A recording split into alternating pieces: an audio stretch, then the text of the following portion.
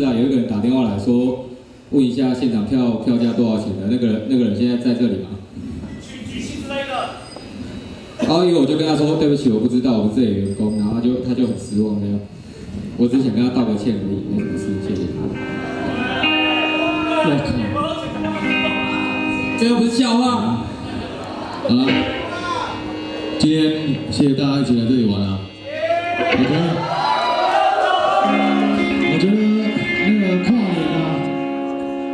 雄是对我们来讲很开心一件事，因为这样就可以回家了。